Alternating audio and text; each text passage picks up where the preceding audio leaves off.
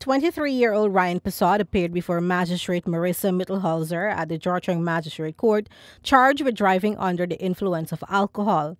Passad, who is attached to the police impact base at the Brickdam Police Station, pleaded not guilty to the charge.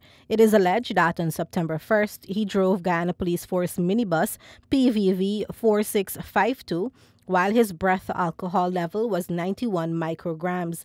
The legal limit for alcohol consumption while driving is 35 micrograms. The Gordon Street Kitty Georgetown resident was represented by attorney at law Isu Anderson, who made an application for bail on the grounds that his client is the sole breadwinner for his family. Police prosecutor Cheryl Lane made no objection to bail, but noted that the accused is currently being investigated in another matter which stemmed from the same incident.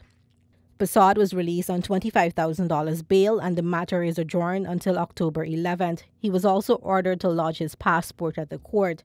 The cop was not charged with causing death by dangerous driving, as is customary in cases like these. However, Newsroom understands that the police are awaiting legal advice as to whether the constable should be charged with this offense. Akeem Anthony was killed when the cop struck him off his motorcycle at around 23 hours 40 in the vicinity of Back Circle, East Ruimveldt, Georgetown. According to the police, the policeman was proceeding east along the northern carriageway of Mandela Avenue, while Anthony was riding in the opposite direction on motorcycle CJ 511. Police headquarters revealed that Anthony turned north into the path of the minibus in an attempt to cross into Back Circle Street, but because of the short the bus collided with the motorcyclist.